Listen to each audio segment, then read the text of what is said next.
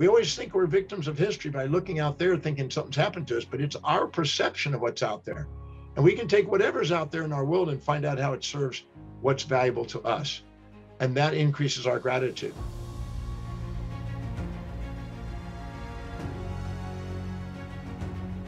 First, I'm going to say that there's a superficial gratitude and a deep gratitude, a distinction.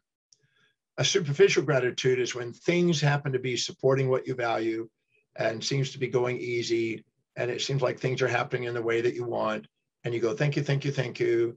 And it's kind of like a, superficial, um, easy dynamic, and you don't really feel like there's anything going on that's really testing you. And then there's a gratitude that occurs when you've actually been challenged in what you value, you feel like there's hindrances, but then you found out how to it or take actions on it and actually came through it and had a deep gratitude. And you felt a, a deep, absolutely feeling almost tears of gratitude for the realization that, wow, I thought there was some sort of apparent chaos, but there's actually a hidden order to what's happening. And you got a deep fulfillment coming out of that and a gratitude that came from the challenge, not just from the support. And both of those forms of gratitude are useful. But the one that is actually able to take the challenges and turn them into gratitudes, those are the ones that are most empowering because then it doesn't matter what happens in your life, you can turn it into an opportunity. But let's look at what gratitude does. And then I'll talk about the distinctions of those again. Gratitude has an impact in your mind there's a, the, actually the prefrontal cortex, the medial prefrontal cortex, the forebrain is not only called the executive center, but it's also called the gratitude center. Because whenever you're doing something that's deeply meaningful, truly inspiring, highest in value, things that are really highest in priority in your life, the thing you feel is meaningful and purposeful in your life, um, that's when you end up having the highest degree of gratitude. And you have the most resilience, most adaptability to whatever happens and you're able to see whatever you think is on the way, not in the way. So you're able to see how whatever challenges you face is able to help you get what you want. You're able to see under go through it, underneath it, around it, or over above it to get the outcome you want. And that type of gratitude is very profound. And that's occurring whenever you feel that anything is connected to what you value most. And let me just go off on a little tangent here. You have three things you have control of in your life your perception, decisions, and actions if you take command of your actions and prioritize your actions to the very highest priorities, you're going to have the highest probability of having the most gratitude. Because whenever you're living by highest priorities, the blood glucose oxygen goes in the forebrain, activates the medial prefrontal cortex, the gratitude center, and you have easily see gratitude. You know when you've gone a day when you've got the highest priorities knocked out, you're more re- resilient and adaptable, you're more f- fulfilled, more grateful, you can handle almost anything. But when you're putting fires out you're doing lower priority things and feel like you're trapped and overwhelmed by extrinsic, uh, you know, fires, um, you feel whoa, and you're bare and you're ungrateful. If so, if you're not living by highest priorities, you're going to be less grateful. And so you you can take command of that. You can sit down and decide what is the highest priority action I can do today to help me fulfill the, my mission on earth, to help me serve the most people, to be able to fulfill my life. But you can also do that on your perceptions. And the perceptions are you can ask, how is no matter what's happened in my life today, how's it helping me get what I really want to do? How's it helping me fulfill my mission, my my priorities, my my most important things in life? My, my what I feel is most fulfilling. Asking yourself how specifically is whatever's happening helping me fulfill what's most meaningful to me, what's most inspiring, my purpose, the thing that I want to do that serves the world.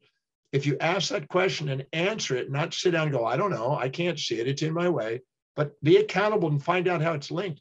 The moment you link it, you're neuroplastically reopen up your brain back into the frontal cortex and back in the gratitude center. And then you see the hidden order in the chaos, and then you're in command and you're not a victim of history. You're now master your destiny.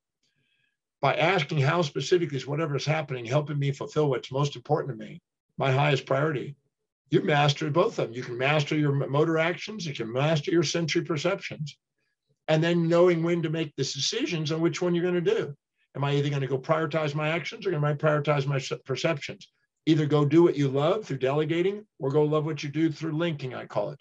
Linking means asking how specifically is this action going to help me fulfill my mission and linking that action with that experience, that sensory perception to what's most important.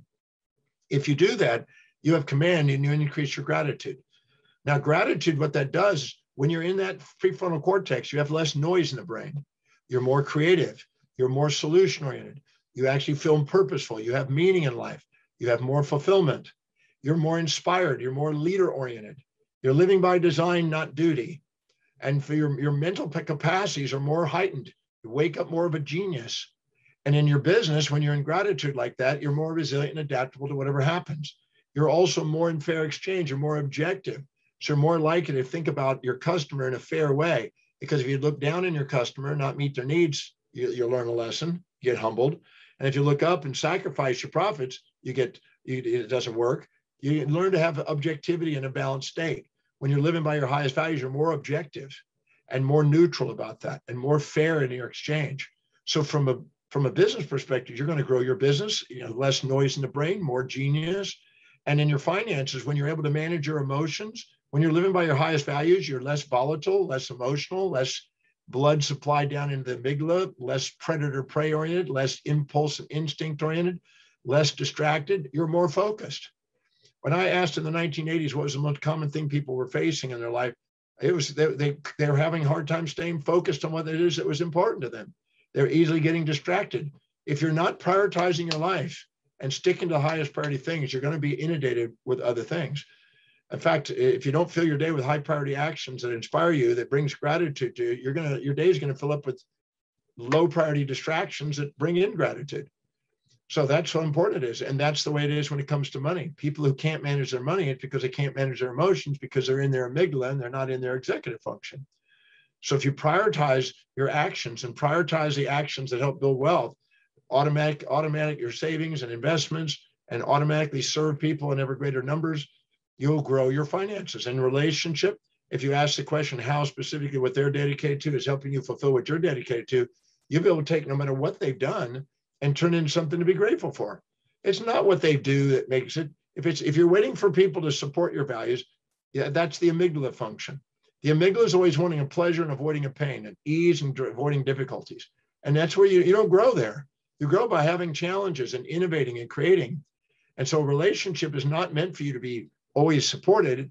The relationship is there to make you authentic. And you're not authentic if you're being juvenilely dependent on that thing that you're infatuated with them. You want the challenges in life, and the challenges are one that make you learning how to make sure that you turn those challenges into something to be grateful for as the mastery of the relationship came. So ask how specifically is what they're dedicated to, what they do every day, and what they love doing. How's it helping you fulfill your highest values? If you do that, you're going to end up with more resilient, more adaptability, and you'll be more appreciative of them. And you'll be able to say with integrity, I'm thankful to you. Thank you for what you're doing. I, I didn't see it, but now I see it. We always think we're victims of history by looking out there thinking something's happened to us, but it's our perception of what's out there. And we can take whatever's out there in our world and find out how it serves what's valuable to us. And that increases our gratitude. And the same thing socially. When we're being really inspired and living by our highest value, we're more social leaders and we're more impactful. And instead of following a culture, we create a culture. We create and lead the pathway. And your, your job is not to sit there and subordinate to the world out there and conform and be part of the herd.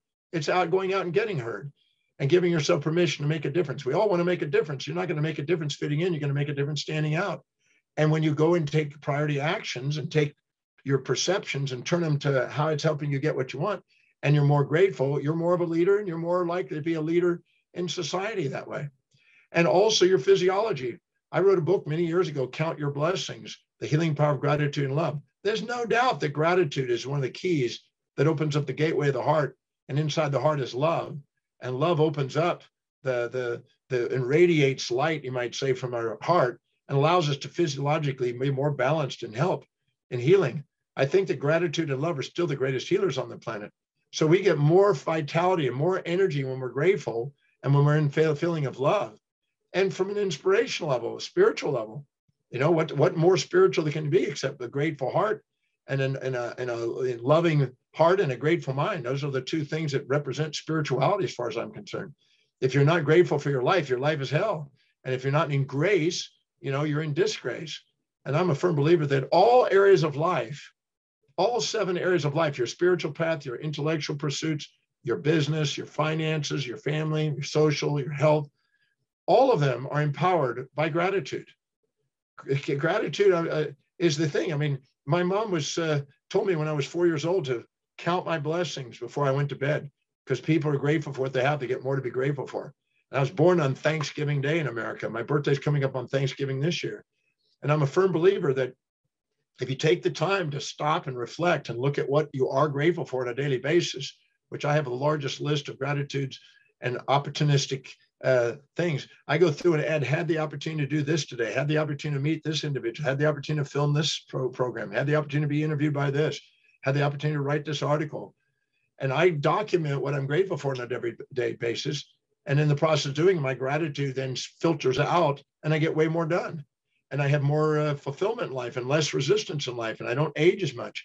I really believe that when you're grateful and you have love in your heart, you don't age as much. So there's a tremendous amount of value in in the gratitude attitude. And I really believe that that's uh, the key.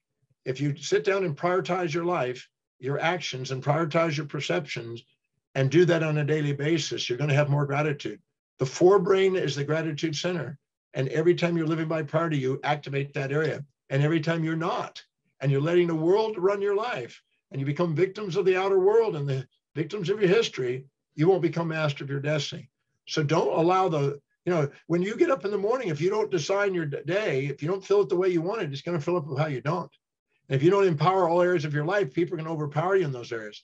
And they're going to fill up that day with all kind of trivial stuff. And you're going to say, well, I've never got anything that I wanted to get done today. And then you feel crap about life. You don't feel inspired by your life. Take the time to prioritize your life, prioritize your perceptions, your decisions. And if you haven't gone on my website to do Dr. Demartini's value determination process, do that. That'll help you determine what really is important to you so you can prioritize according to what's meaningful and not prioritize according to what you think it should be according to some outside source. You want the inner voice and inner vision to be directing what's priority. You want to be able to do something that's deeply meaningful because when you do that, you have a yearning to want to go and be of service to other people.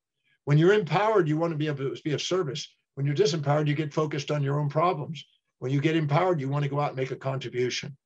So gratitude is the key that opens up the gateway of the heart, allows love to come out. Radio, radio washes the brain and the mind, allows it to be more inspired, more enthused, more, in, more more present. And those are healing capacities, healing of not just the physiology, but the whole body, whole life. So take the time to prioritize your life. Take the time to activate your executive center and realize if you do, you'll have more time in your life. You'll have more gratitude to do and document what you're grateful for on a daily basis it does make a difference.